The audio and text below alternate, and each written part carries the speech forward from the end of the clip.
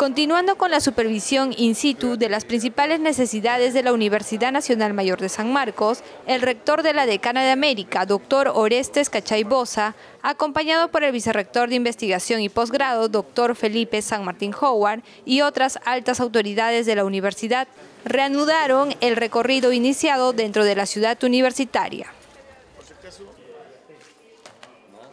En esta oportunidad, nuestras autoridades visitaron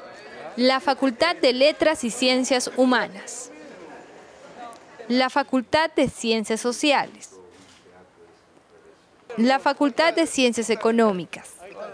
la Facultad de Derecho y Ciencia Política, la Facultad de Ciencias Contables. De esta manera se recabó los pedidos de la comunidad sanmarquina conformado por nuestros docentes, alumnos y trabajadores administrativos.